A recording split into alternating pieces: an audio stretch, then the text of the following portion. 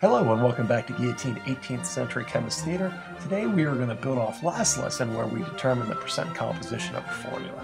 And now what we're going to do is pretend, okay, well let's say that we have the percent composition of a formula. How do we back calculate the empirical formula? Remember the empirical formula is the lowest uh, whole number ratio of the subscripts. And so it's a very straightforward technique. It really shouldn't take that long to do. Uh, there are some common pitfalls here. And so uh, I will point those out where uh, we run into them because I've seen a lot of students make these mistakes. All right. So again, we're going to be looking for the lowest ratio.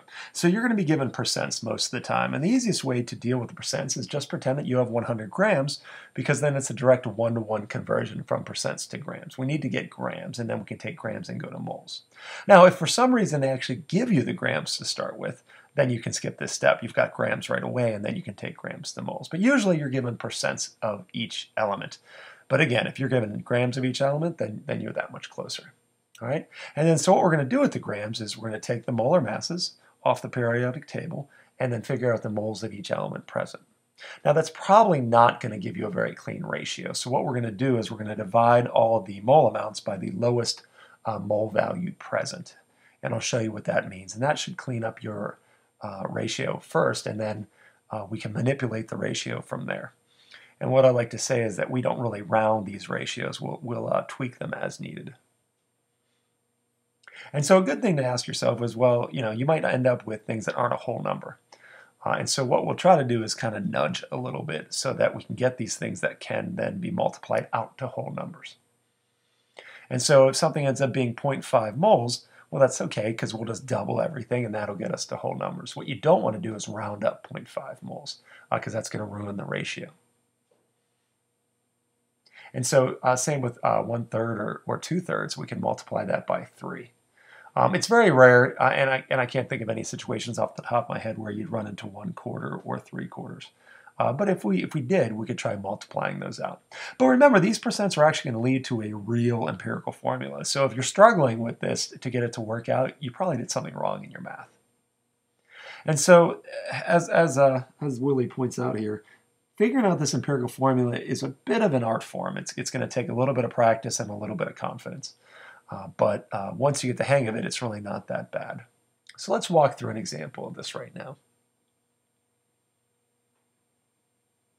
And so let's say something 63% manganese and 37% oxygen.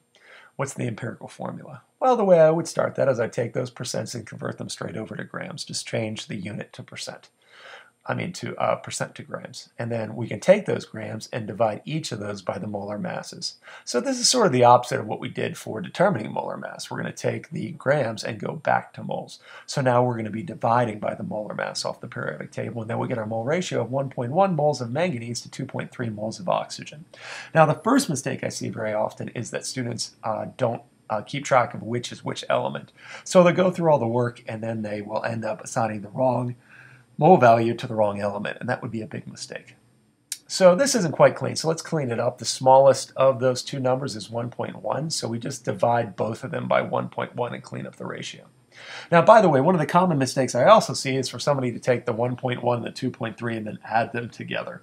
Uh, because based on muscle memory, when they determined molar mass, that's exactly what they did. They added up the grams to get the total amount of grams. But adding up the moles will do nothing for you. It's, it's, it's totally a, the wrong thing to do, so avoid that temptation.